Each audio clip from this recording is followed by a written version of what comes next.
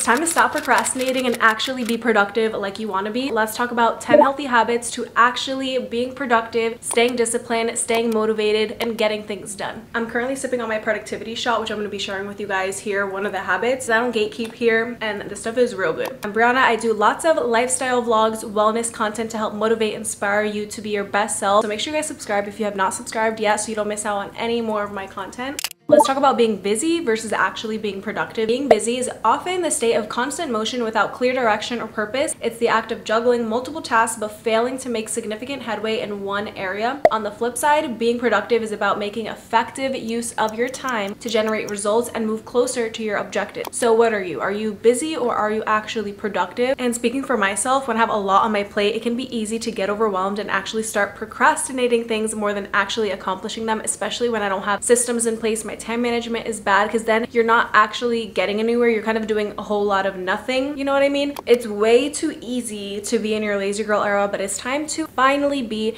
in your productive girl era who actually takes action steps. Let's hop into the first healthy habit. It truly starts, I'm not even gonna say that it starts with your morning routine because it starts with both a morning routine and a night routine. And I think personally that a night routine is honestly how you're gonna set yourself up for the most success because that is what's going to help you for your morning routine. If you have a bad night routine, your morning routine chances are is not gonna be the greatest. So your night routine should set you up for success. What time are you going to sleep? If you wanna wake up early, let's say at 5 a.m. and you wanna have a nice productive day, maximize your productivity, then you need to have good sleep. If you're just scrolling on your phone, that's not gonna get you anywhere. Honestly, you're really just wasting your time. Time is everything. Time is so valuable. So start with a good night routine. Do self-care habits in your night routine that make you feel good, relaxed. You can have your tea, do a face mask, and just have a really relaxing night. Taking out your clothes for the next day, taking out your gym clothes if you want to wake up at 5 to do a workout. And then a good morning routine also looks like something that is going to be relaxing so that you're not stressed going into your workday or whatever day you're having if you have a lot of tasks, even if it's on the weekend. If you have a busy list of things to do, you want to have a routine in the morning that is kind of a little bit more about you, mindfulness, so that you can give it your all throughout the day and you're not just rushed going into it because that is going to negatively impact you. I am telling you. You want to use these micro habits in your routine because micro habits, you know, have a bigger impact later on as you're consistent with them.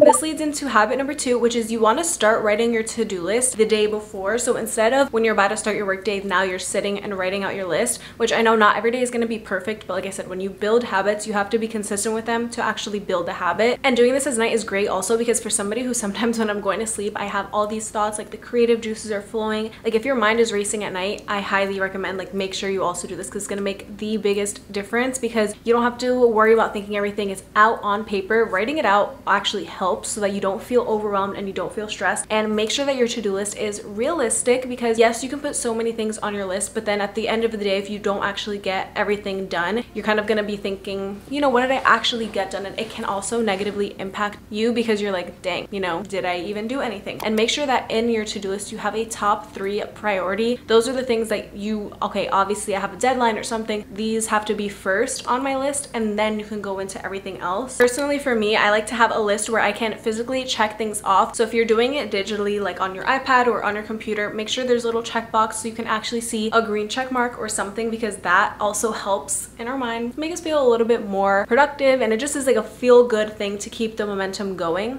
And habit number three is a huge one. This is going to be for those who struggle with actually staying on task and who get distracted. You're going to be using interval timers to help you with your tasks. This means setting a timer and then after the timer is done, so setting a 30 minute timer, setting maybe like a 45 minute timer, and then once the timer is done, you're going to take a mini five minute break, whether that's just getting up to stretch your leg, whether that's going outside to get fresh air, whatever that means, but that five minutes is for you. And so it helps you just, you know, get out of the zone for a quick second and then you can hop back into it. If you're going, going, going, going, going, going, going, going, going, then you're gonna hit a crashing point. This is something that has helped me so much because I know sometimes we can be doing things and then you see something else and you get distracted by it and then you get distracted by another thing and another thing. But if you have a timer, it's like you're racing against a clock. Essentially, that's the way that I like to think of it. And you can use this for your chores too. And something that also helps me stay on task and not procrastinate, not be distracted is this from Magic Mind, which I showed you guys earlier. It's a mental performance shot. Uh, it's matcha based. It actually tastes really yummy, which is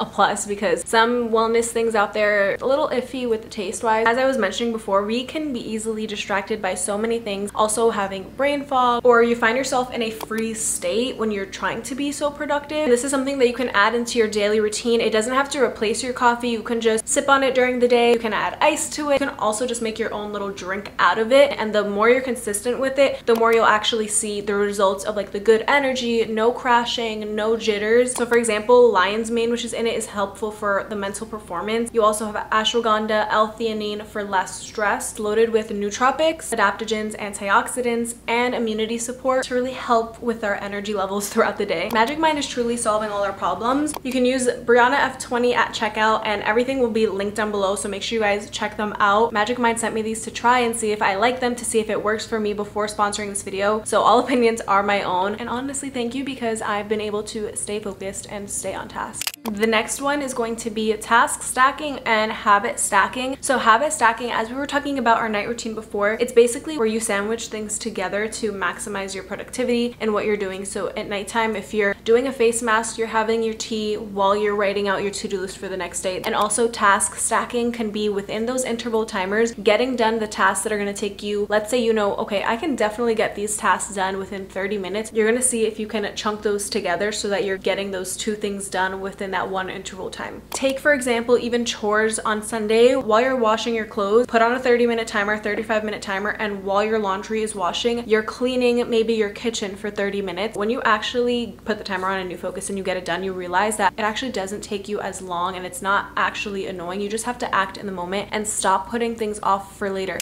Next one is something that I learned when I read the book Atomic Habits, which you should definitely read if you're trying to build habits. You want to focus on being 1% better every single day. I know it can be so hard where you want to get everything done and then you're just beating yourself over it, beating yourself up over it, but there's no reason to beat yourself up over it because that is how you get into a slump. And if you find yourself in a slump, I just posted a video of how to get out of a slump, so go check that out after this. It'll be in my description as well. But it can be way too easy to start making excuses because it's all about the small things that you do every single day the action steps that you take. If you want to do a lot of things, but you're simply just saying you want to do a lot of things, that's not going to get you anywhere. It's all about continuous improvement, not striving for perfection or making drastic changes overnight. Progress is progress. Next one, we want to make things as obvious and, and as attractive as possible. So that means leaving things out that you want to get done so that you don't have to worry about taking that extra step. It's all about, like I said before, also setting yourself up for success. So for something like if you want to get into journaling or you want to get into reading or whatever the case is, put it somewhere where it's attractive and you can see it. So whether you're leaving something on your nightstand where duh, I see it, that's going to be how you build that habit of journaling right before bed. You see it next to your alarm clock. Even if it's like going to the gym, put out a cute gym outfit for yourself, feel good, look good, and you put in your best work going to the gym. Also, even if you have to study or whatever, set the vibes, make it a vibe for yourself, like as if you're in a coffee shop, set the tone. It's so important. This is a big one, but your workspace is truly everything when it comes to being productive. You really want to reduce distractions and you want to have a clean environment because if you don't have a clean environment, everything is cluttered, everything is just crazy. That takes up space up here and you're just going to overall kind of be a mess. It's going to be way too chaotic. You want to have a clean environment. A good workspace for me personally is I have my computer, I have a drink, I maybe have some relaxing music on, maybe I have a candle on or a diffuser on, even having a snack next to you. So it really limits the times that you get up and are distracted. And another thing too is having multiple workspaces. So if you have a desk, wonderful. And also if you have the ability, if you work from home or something, then go to a coffee shop, get some work done, just switch up your space.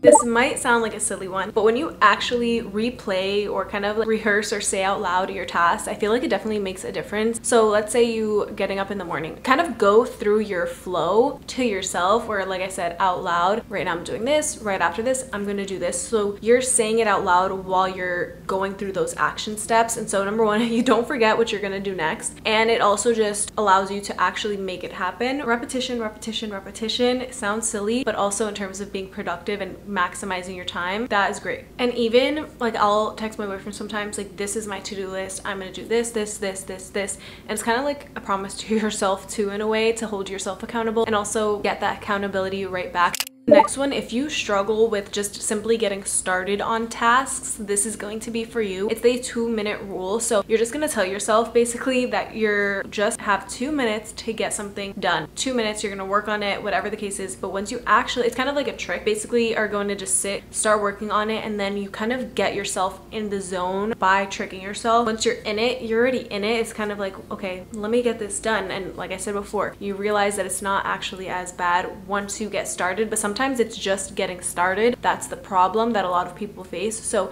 start using the two minute rule. Last one, we're at habit number 10, but it's basically a reward system, which is so important when you're struggling and you're really trying to get into your most productive era. A reward system honestly helps so much because it's something that you can look forward to so that it's like when you're kids, you know, if you do this, we'll go to the park. Obviously, you're gonna do whatever the heck it is you have to do so that you can go to the park or get a treat, get ice cream. So kind of do the same thing for yourself. It doesn't have to be anything where you have to go and spend money, but it can just be something that you can look forward to in your day so that, like I said, it's just up here. Your mindset is everything. I say this all the time, but your mindset is everything. And having that reward will entice you to just get that thing done faster. And you probably will get it done faster than the timer itself, honestly. You have to earn it. If you're just somebody who wants all these things, but you don't want to work for it, then you're in trouble. you're in trouble. That helps me too also because it helps to build up your discipline more. And I'm sure you heard this before and you're gonna hear it again from me time and time again, but motivation is not always gonna be there for a lot of things. Do you wanna do all these tasks in the moment? Probably not, but when you have discipline and you kind of just go with the flow of things and get it done, you're gonna feel so good and then you're gonna wanna keep building that habit. It is time to exit your lazy girl era. It's time to actually be productive and this is the roadmap to help you get there. So if you stay to the end of this video, make sure you comment this emoji. You are a real one. Don't forget to check out Magic Mind, which will be linked down below and let me know your guys' thoughts. Like I said, consistency is key with everything in this video, but also with these, consistency is also key. It's all about adding things into your routine and just staying consistent with it and building up those habits to build up your discipline. I know you guys are gonna be in your productive era real soon. If you enjoyed today's video, make sure you guys give it a thumbs up. If you haven't subscribed yet, make sure you guys subscribe. Turn on your bell. You'll get notified every single time I upload a new video. Let me know what else you need help with in the comments so that I can film those videos, get those up for you guys, and help you be on your way to living your best life every single day. And I love you guys all so much.